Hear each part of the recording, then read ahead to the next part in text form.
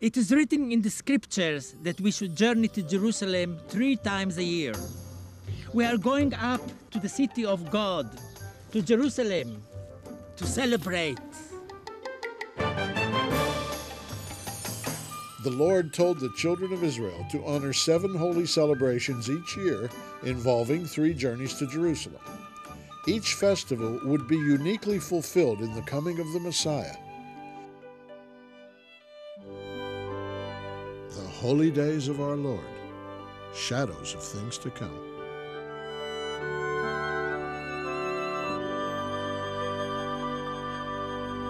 Shalom and welcome to Zola Levitt Presents. I'm Miles, this is Catherine, and we're continuing in our series, The Holy Days of Our Lord. You know, Zola did a wonderful thing before he went to heaven. He made this series on all the feasts of the Lord, and it really gives us an idea of God's calendar. Last week we learned about the Feast of Unleavened Bread, and what follows is the Feast of First Fruits, and that's what we'll be talking about today. Yeah, and I grew up celebrating Easter, and I had no idea that it was actually first fruits is what God calls it in his calendar, not Ishtar after a pagan god. Yes. And so Zola is going to do a wonderful job of explaining to us how first fruits is actually Resurrection Sunday and leads to the birth of the church 50 days later. So let's join Zola on location as he tells us about the Feast of First Fruits.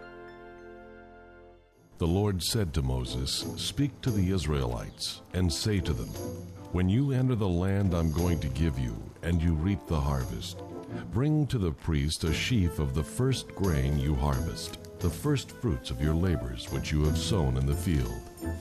Bring the whole tithe into the storehouse.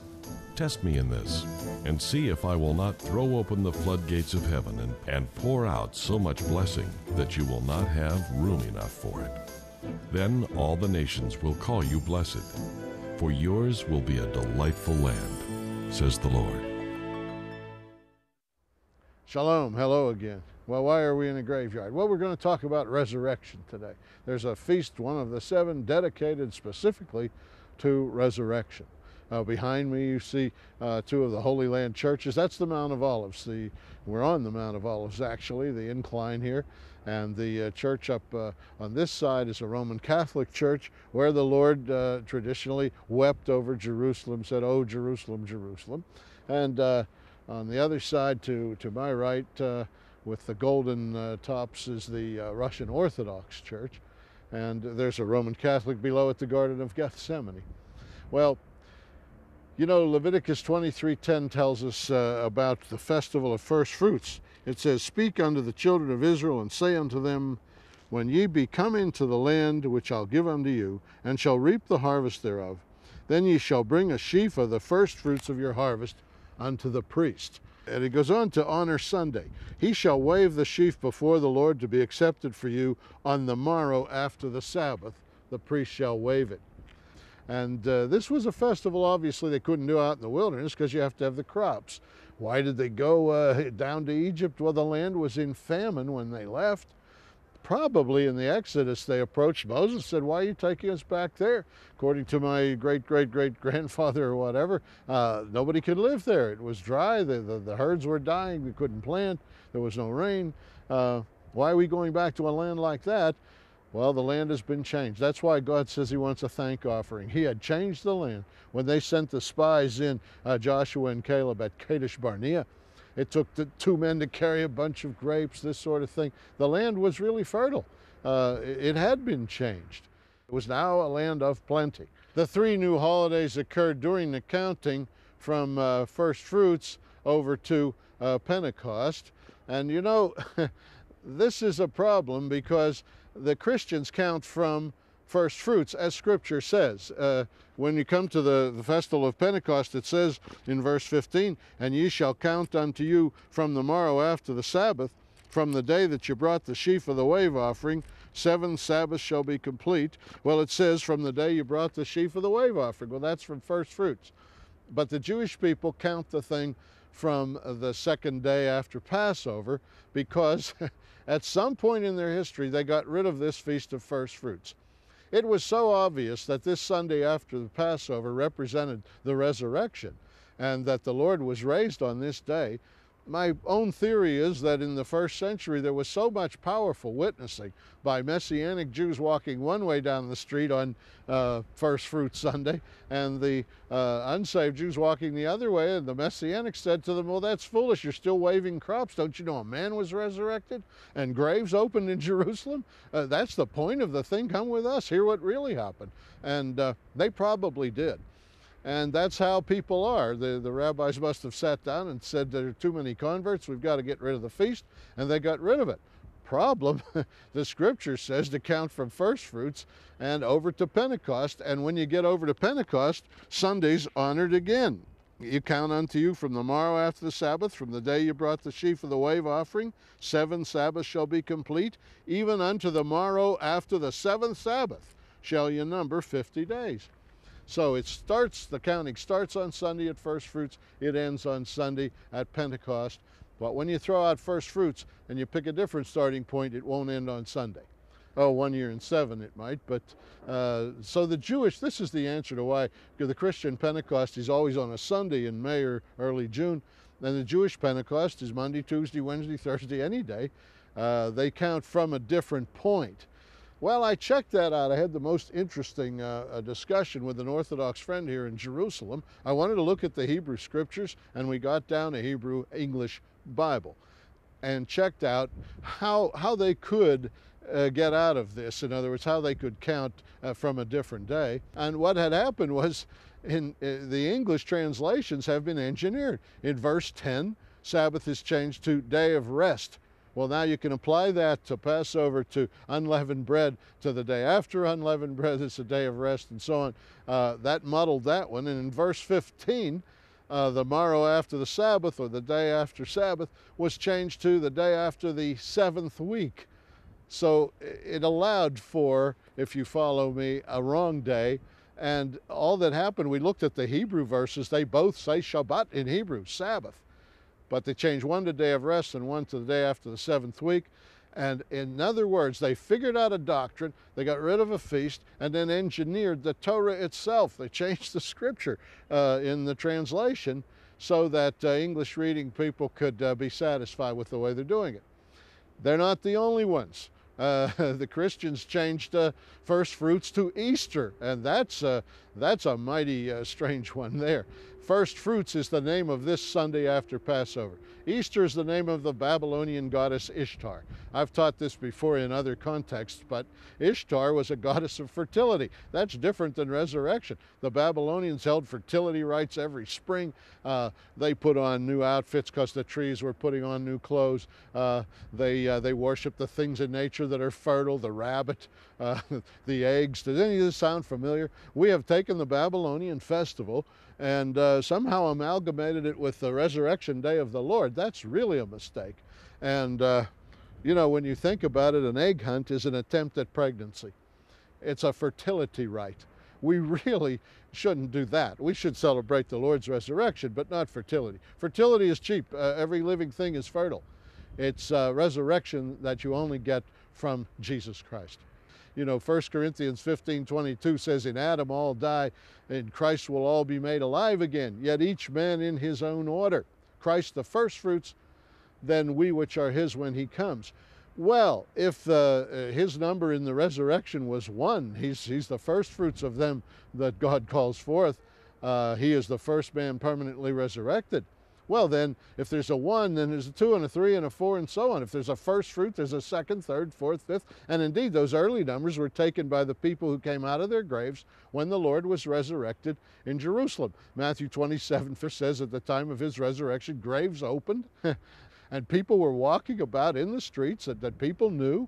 What a shocking thing to see a relative come down the street you buried 10 years before in perfect condition, uh, resurrected, obviously well, uh, if, if they have the low numbers, we have the higher numbers, and there's a number for everybody in this resurrection. We evidently proceed in ranks in the order we're saved, I presume. And uh, uh, this is a wonderful thing because when you go into one of these busy stores and they give you a number, you know that you'll be served in your turn. And so that's how it is. It says, Wherefore comfort one another with these words. I think that should make everybody quite comfortable. You won't be forgotten in this resurrection. The gospel says, The hairs of your head are all numbered. It says the dead in Christ will rise first. Well, obviously, they have lower numbers. now, uh, uh, these graves that opened up, what was that about? Well, it was first fruits, and uh, Jesus had resurrected in the morning, and he owed an offering. He always kept all the law. Well, the farmers who raised crops brought in the first fruits of their uh, their earth and so forth to the temple to be waved. Jesus does not raise crops. Jesus raises people, so he must have raised a few as his offering on that first fruit Sunday.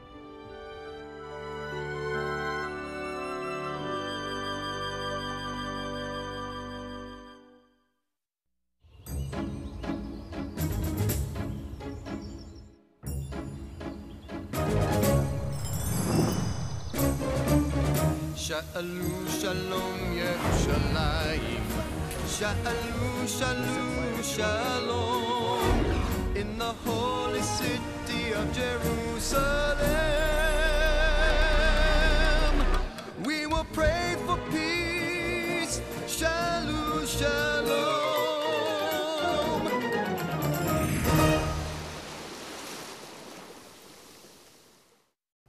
Hello, I'm Wayne Fournier, and I want to personally invite you to come with us on a tour of the Holy Land. With a Zola tour, you travel with Miles and Catherine Weiss. Plus, you have the added benefit of an Israeli tour guide who is a follower of Yeshua. Our founder, Zola Levitt, established this ministry in 1979. Today, we continue to bring you the truth of the gospel from a messianic perspective. Zola Levitt Ministries creates our weekly television program, Zola Levitt Presents, our website, levitt.com, and our free monthly news magazine, The Levitt Letter. All of this is accomplished with donations from viewers like you. If you believe this Bible teaching is worthy of your financial support, then please call us at 1 800 Wonders. Visit us at levitt.com or you can write to us at Zola, Box 12, 268, Dallas, Texas 75225. We depend on your prayers and financial contributions. Thank you. Now let's go back to the program. Our location is near the famous Temple Mount in Jerusalem, where the Tribulation Temple and the Great Millennial Temple will stand. And of course, people are buried here because they want to be in the resurrection. It's a graveyard. We're talking about resurrection, and these people are buried here because, after all, Zechariah 14:4 says his feet will stand that day upon the Mount of Olives, which is next to Jerusalem on the east. That is where we are. The, this is just east of the temple, and the Lord will come down to the top of this mountain to my left and come down this way. And these people want to be first in the resurrection, and maybe they will be.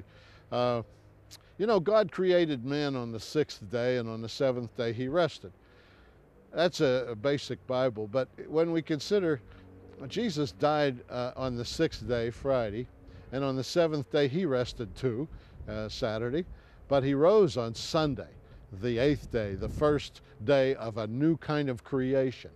Adam brought us death. I mean, uh, after the days of creation, he started off, he sinned and brought death into the world. But Jesus brought resurrection, the cure for death. We now have a different kind of uh, spiritual society, one in which we can survive by resurrection and do not have to be permanently separated from God, which is uh, the biblical uh, definition of death, uh, or at least a second death. So, uh, you know, Israel as the first fruits was planned to be resurrected, and all those who will believe in Israel and be adopted and believe in the Jewish Messiah. Uh, Jeremiah 2 3 says very simply Israel was holiness unto the Lord and the first fruits of his increase. Uh, farmers increase his crops, uh, the Lord's increase his souls, uh, uh, resurrected lives. And Israel is the type of that, the beginning of that. The chosenness of Israel goes on through the church. The harvest uh, had really begun. As a practical matter, uh, the first fruits uh, remind us of the fruits of the Spirit. Or as Christ said, uh, you'll know my disciples by their fruits. Uh, the, the believers have good fruits, and they are described in Galatians uh, 5.22, the fruits of the Spirit which accompany the believers. But the fruits of the Spirit is love, joy, peace, long-suffering, gentleness, goodness, faith, meekness, temperance. Against such there is no law, indeed. Uh, we are, all have gifts of these uh, uh, ways of living uh, when we come to the Lord. We just need to uh, use them to be in touch with Him. You know, none of the harvest could be touched until the first fruits were offered. And the kingdom really can't start until all souls, all the, all the rest of the resurrection is called in. Uh, the rapture of the church will be one addition to the kingdom. Well, the originals, of course, the Old Testament saints, which God in His forbearance uh, will save in the end. Uh, uh Romans 3:25 uh, because their sacrifices were made, they demonstrated their faith, and when Messiah comes, he looks at their accounts, sees them fulfilled, and they are saved. Then comes the church, the, the believers from Pentecost to the rapture. Uh, they, of course, uh, go to heaven translated like Enoch and Elijah and uh, they too will go to the kingdom. But then there's the sheep from the tribulation period. Even just a seven year period, God is so careful. Scripture says He does not suffer any to perish, and uh, He will examine the whole world as to whether they were sheep or goats in the tribulation. And of course, the test question is Matthew 25 40. Inasmuch as you've done it unto one of these, the least of my brethren, you've done it unto me. How did you treat Jesus' brothers most intensively? The 144,000 who are witnessing, the 12,000 of each of the 12 tribes of Israel. Well, in the, uh, in the end, those two will be resurrected and added to uh, the ones I mentioned. And finally, all the first fruits are in, and the grand harvest uh, uh of the kingdom can be enjoyed. And then a thousand years of bliss, and then on to eternity.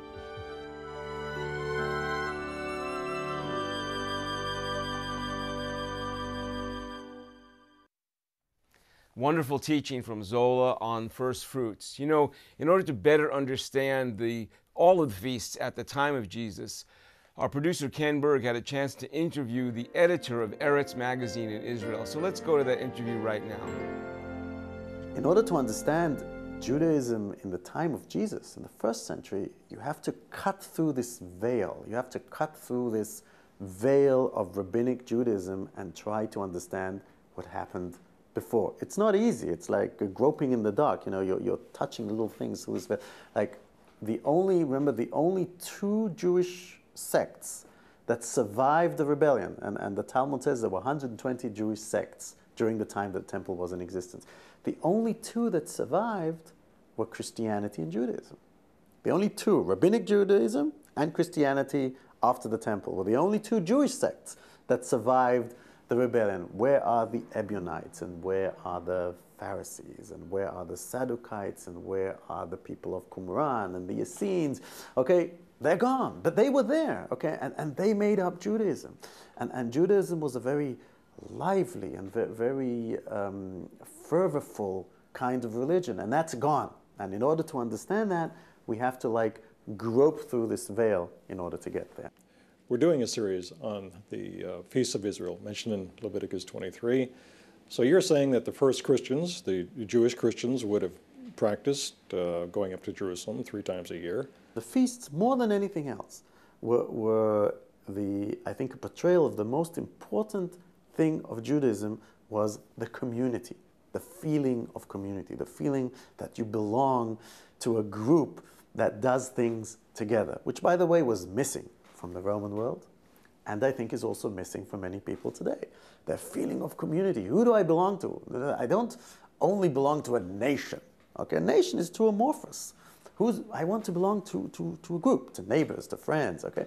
And, and this is the first century. And, and uh, if you don't understand this, you're, you're losing this whole idea of the feasts and the festivals, which, which wasn't something that was done at home with your family. It was something that was done in your community. And this togetherness is, is what made uh, Judaism what it was later as it developed and what made it so attractive to everybody else who wanted to be part of this. Okay, they want to be part of this big community. Can you pinpoint a time and a person responsible for the separation of uh, Christianity and, and Judaism? Christianity was developing in two ways. There was Jewish Christianity, okay, the Christians who were Jews, and then it was Gentile Christianity. Gentile Christi- the Gentile Christianity were these Gentiles who wanted to be Jews. Okay, they were called God-fearers. Okay, like Cornelius from Caesarea. They were called God-fearers. They liked the idea of community of Judaism. They liked the idea of a Messiah. They liked the idea of one God who was unseen. Okay, remember the God of the Roman Empire was the emperor. The emperor happened to be a little small midget who just married his horse. Okay, I say, well, this is God. You know, there's a big problem with that. So this idea of, of, Judaism worked very well for them, and it made sense. They didn't like the, the everyday little nitpicking of what it was all about. Christianity allowed them, Peter and especially Paul, allowed them to join this idea of group, this idea of togetherness, this idea of a Messiah without the rigmarole. And they joined in thousands. And suddenly you had the Jewish Jews, the Christian Jews in the same synagogue, and next to them the Gentile Christians. And they were all together, the same community, same region. But the Gentiles, the Gentile Christians grew rapidly. And in many places, like Antioch, Alexandria, suddenly there were more Gentile Christians than there were Jews. And, and then there were Jewish Christians. Okay, and they became the bigger community. And they were full of this messianic fervor and so on. And Judaism was beginning to have a problem. They were saying, the rabbis were saying, if we allow this into Judaism, because they were all Jewish, remember, if we allow this into Judaism, if we allow this Christian thing to go on with the Gentiles, we're going to lose the Jewish identity that we are trying to keep. And this heated argument reaches the year 140, where Rabban, Rabbi Gamliel II, who's the president of the academy, says, from now on, if you're Christian, you're not Jewish. You have to make a decision. Are you Jewish? Are you Christian? The Gentiles were out. The, Jew, the, the Jewish Christians slowly petted out because they couldn't do it anymore. And the church that survived was the Gentile church, which was rejected. They went through the beginning with the rejection. They had another problem. The minute the Jews said the Christians were not Jewish, the Christians suddenly didn't have a religion, didn't have what was called in the Roman world a legal religion. It was illegal not to have a religion. Christianity was not a religion. Judaism was.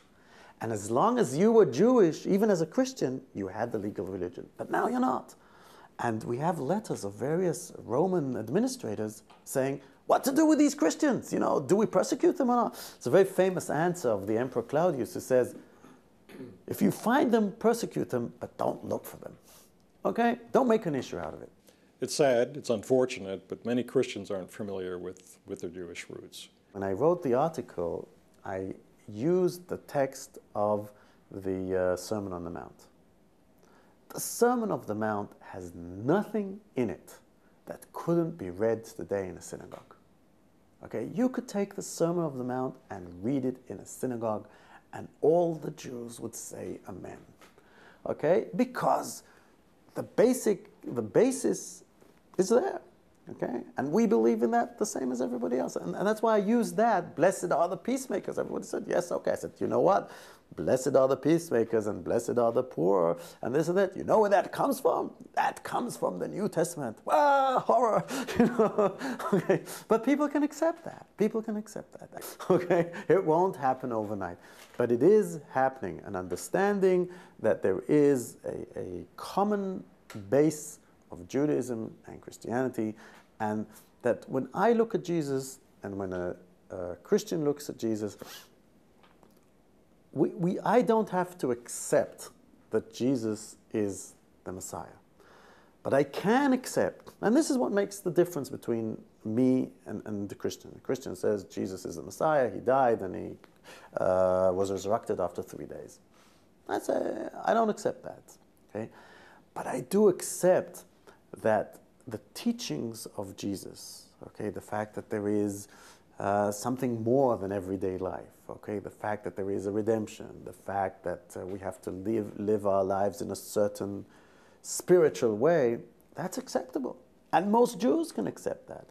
There was a, um, a poll taken in Israel after the visit of the Pope that 75% of uh, Israelis would like to know more about Christianity. Something new. They feel they don't know, and they feel they would like to know more, which is interesting okay, which shows that actually on, on the people to people level, there's a beginning of understanding that, that we have more common roots than we have things that, than we have differences.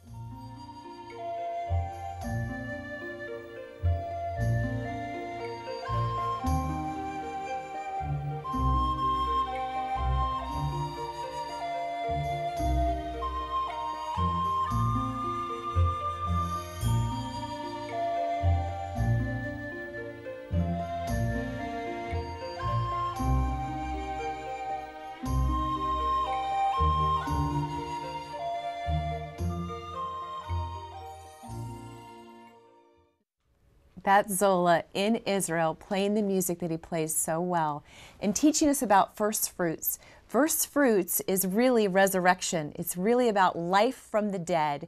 And it's not about Ishtar or the pagan holiday that we've come to know, but it's about first fruits, the resurrection of life. It really is on the Hebrew calendar. It's God's timing, it's God's feasts.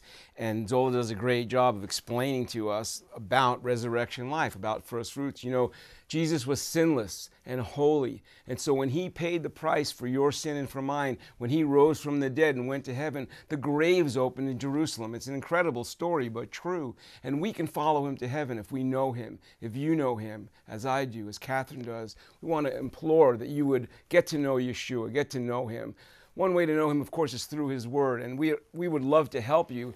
Our offer this week is Discovering Our Jewish Roots. This is a nine CD set and it will teach you about the Hebrew roots of the Christian faith, teach you about the feast. It's an amazing study that will help you understand everything that you're seeing in this series and beyond. So we want to offer that to you this week. And until we see you again, we want to remind you Sha'alu Shalom Yerushalayim. Pray for the peace of Jerusalem. Our offer on this program Discovering Our Jewish Roots a one of a kind study with nine CDs and workbook that begins with a survey of Old Testament messianic prophecies. This simple and direct lesson plan covers a vast range of topics, including Gentile salvation, the Abrahamic covenant, replacement theology, and Messiah in the Passover. Packaged in a handsome custom album with a matching 21 page study booklet. Don't miss your opportunity to enhance your understanding of the Jewish roots of the Christian faith. Also, please call toll free or write to receive our monthly newsletter, The Levitt Letter. It's absolutely free and contains insightful article and news commentary with a refreshing perspective you won't get from the mainstream media. The Levitt Letter is also available at levitt.com, along with current and archive TV programs, our national airing schedule, and much more. Please remember Zola Levitt Ministries depends on tax deductible donations from viewers like you.